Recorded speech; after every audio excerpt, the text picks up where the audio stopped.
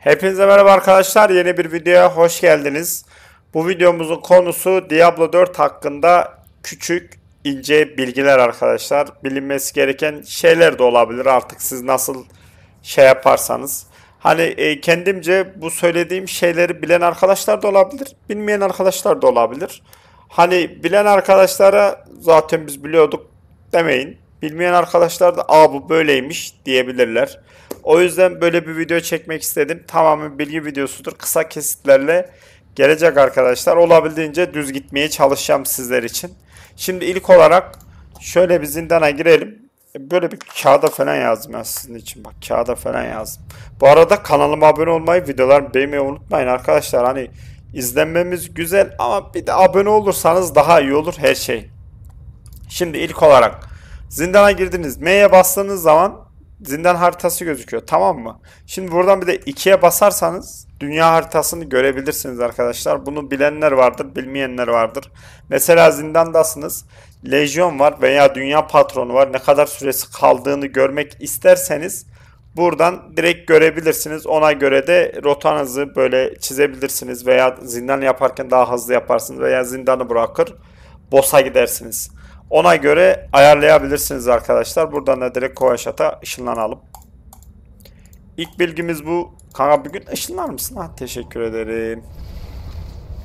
Buradan Kovaşat'a gidelim. Şimdi ikinci olarak söyleyebileceğim şey 60 level olmadan tamam mı?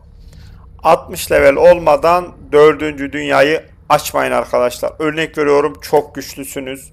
58 levelsiniz veya bir tane kankiniz var yüksek level. Dördüncü dünyayı aşma ihtimaliniz var. Şansınız var. Zindanlı yapabilirsiniz. Neredeydi o zindan? Şu yukarıda bir yerdeydi. Neyse yukarıda bir yerdeydi. Zaten size görev olarak gelir.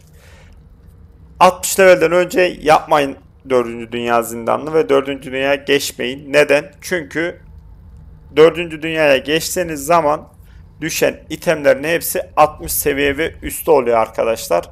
O yüzden 60'tan önce 4. dünyayı açsanız bile düşen itemleri giyemezsiniz. Ha ben hızlı level kasarım derseniz ben açayım dünyayı yine itemler biriktirir depoma atarım derseniz de siz bilirsiniz ama hani hiç item ayırmayla uğraşmak istemezseniz de dediğim gibi 60 level olunca direkt 4. dünya kademesini açın oradan direkt hızlı bir şekilde güçlenirsiniz düşen epik itemlerle beraber.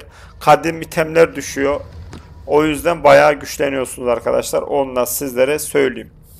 Ekstra e, diğer bilgi olarak envanterde şöyle bir durum var arkadaşlar. Şimdi şurada bir tane sırala diye iki tane ok yönü var yukarı aşağı. Tamam mı? Siz buraya bastığınız zaman size burada itemin en yükseğinden en düşüğüne kadar sizlere sıralıyor arkadaşlar. Mesela bu eksi 116 bu eksi 200 zırh değeri. Hani bunu bu şekilde sizlere sıralıyor arkadaşlar. Mesela bu 262 bu 677 ikisi de çift el kılıç mesela. Hani bunun daha yüksek oran olduğu için bunu en başa atıyor. Bunu bu şekilde size sıralar arkadaşlar. Bu da aklınızda bulunsun. Bunu da sizlere söyleyeyim. İkinci olarak e, özür dilerim. Dördüncü olarak şunu diyeyim size. Mesela şu itemin item'ı benim zırhımdan düşük. Eksi 116 yazıyor. Ama örnek veriyorum. Bu gelen zırhtaki özellikler benim gittiğim karakterin gittiğim build'ine uyuyorsa hepsi ve oranları güzelse şu üstteki orana bakmayın arkadaşlar. Takın. Çünkü gittiğiniz build'e göre gerçekten uyuyorsa o şekilde itemler giymeye çalışın.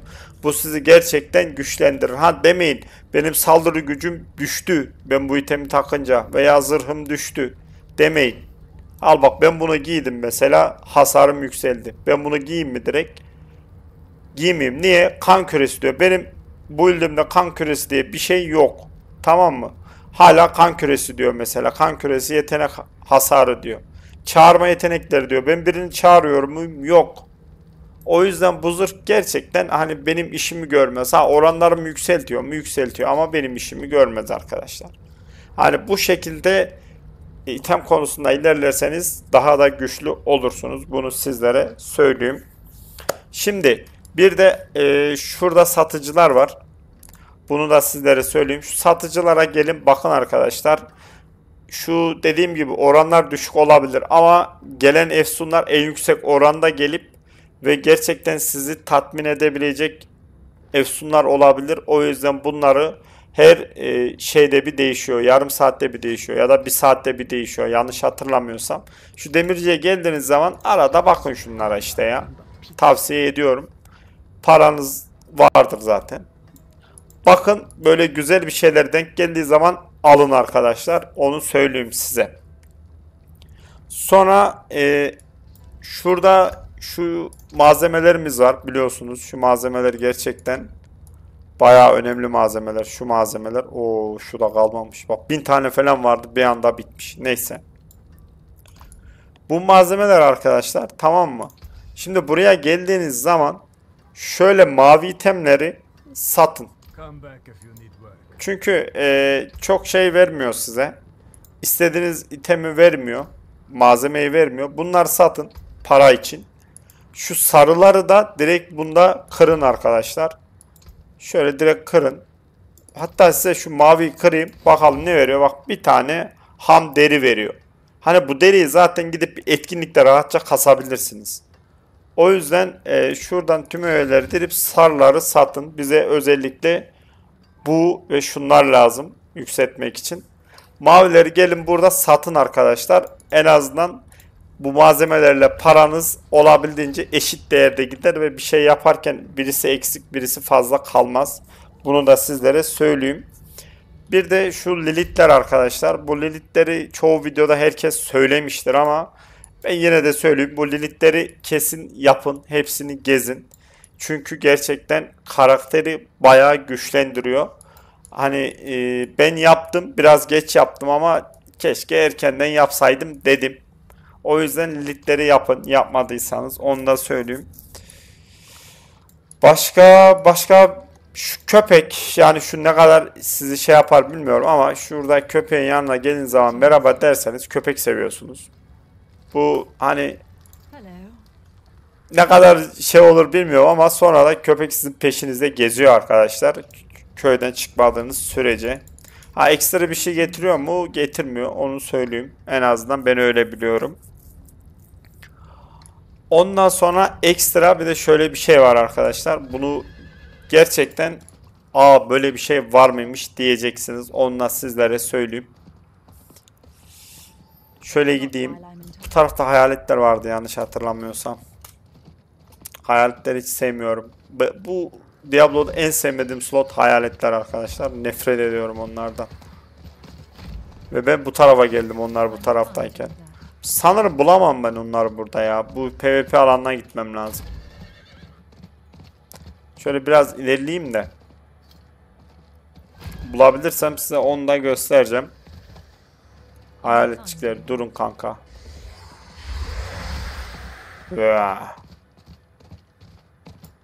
Sesler bile iğrenç ya.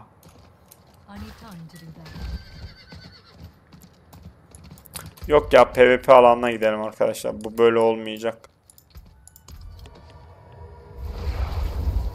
PvP alanında gösterebilirim sizlere.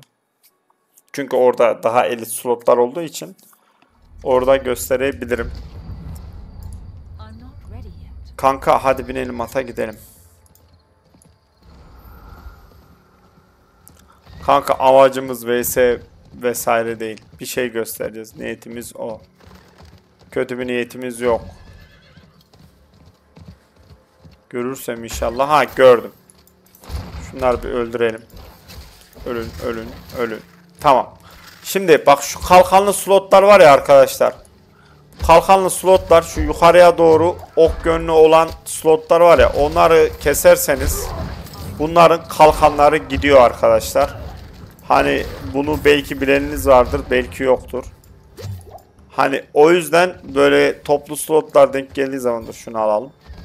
Toplu slotlar denk geldiği zaman o ilk önce yukarıya doğru ok yönünde olan slotlar kesin ki şey olursun. Siz söyleyin. Ee, al kanka şunu. Oğlum bu Necro ile slot kesmek ne kadar güzel bir şey ya. Şöyle başka var mı kalkanlı size gösterebileceğim? Reis bir dakika. Ne düşürdü beni?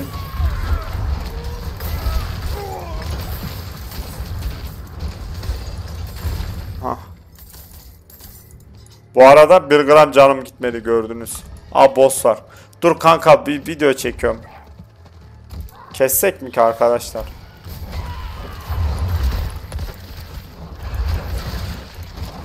Ya hemen keseriz. Baksana şu hasara ya.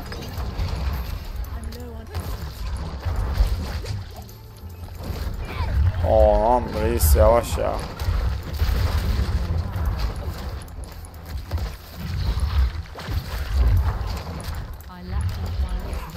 Enerjimiz bir tık yetmiyor. Şöyle biraz yapalım. Hemen kestik ya.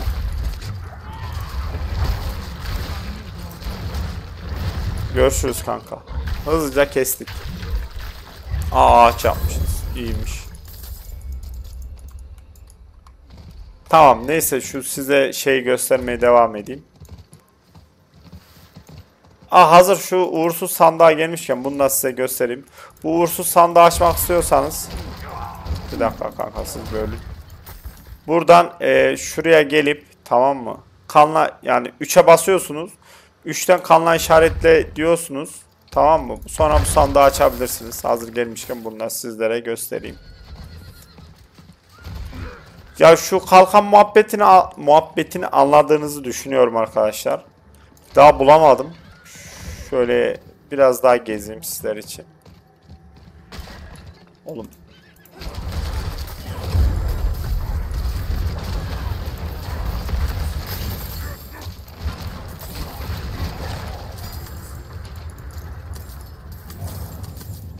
Abi böyle soğutlar gördüm ben dayanamıyorum. Adam biri gelmese bari. Neyse o o şekilde arkadaşlar hani onu gerçekten size anlattığımı düşünüyorum. Abi bir sandık daha var. Tamam. Hadi gidelim. Hani bilgi videosu bu kadar. 12 dakika olmuş zaten. Ee, daha fazla böyle bu tarz bilgi videoları isterseniz yorumlara yazmayı unutmayın. Desteklerinizi bekliyorum. Kanalıma abone olmayı, videolarımı beğenmeyi unutmayın. Ha bak mesela şu yukarıya doğru ok yönü olanlar var ya. Onları kesin arkadaşlar. Bak direkt kalkanları gitti gördün mü? Bak direkt gitti kalkanları. Bu şekilde daha rahat hani çok toplu slot olursa rahatça yok edebilirsiniz. Haberiniz olsun. Bak direkt yok ettik bu arada. Ve ekstra hazır ağaçta gelmişken bunu da sizlere söyleyeyim. Ondan sonra videoyu kapatalım. Şu ağacın bir taktiğini bulacağım bu arada. Eğer bulursam sizlerle paylaşacağım. Gidelim şu ağaca da.